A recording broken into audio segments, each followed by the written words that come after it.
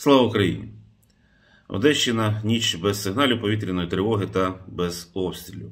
До речі, ви помітили, що психоз чергової вирішальної ракетної атаки по Україні змінюється наступом з Білорусі. І таких прикладів чимало. Звичайно, нас попереду очікує непроста зима, і ми це з вами знаємо. Отож, маємо реагувати на це і знаємо найголовніше, як реагувати на це. Буде складно, так буде складно, і ми це бачимо по тих проблемах, які є в нашій енергетичній сфері. Але вони всі долаються нашими енергетиками і вашою витримкою, нашою витримкою. Ви знаєте, до речі, оці російські терористичні загрози, удари, атаки, вони нагадують битву за Британію.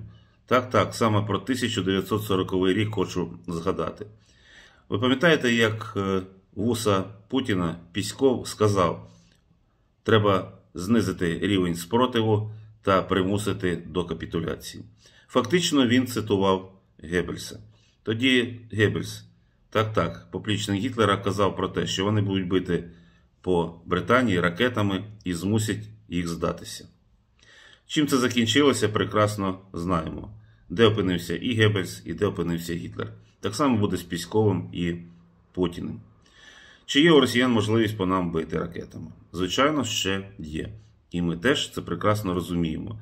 З іншого боку, ми прекрасно розуміємо, що наші сили протиповітряної оборони кожного дня нарощують бойові спроможності.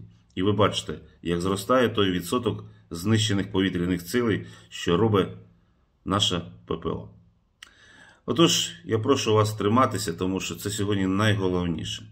Найголовніше не піддатися паніці і не кричати: ми втомилися, ми ладні здатися. Ми не збираємось здаватися, і ворог це має знати. Дякую всім за витримку і бажаю тихого дня.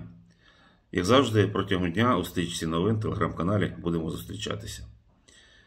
Отож, пам'ятаємо, що Україна понад усе, і слава нашій незламній нації, і смерть ворогам, кляти ворогам, яких ми знищимо. І намагайтеся посміхатися, бо світло все-таки з'являється. І колись прийде той день, воно буде постійно, без перерв.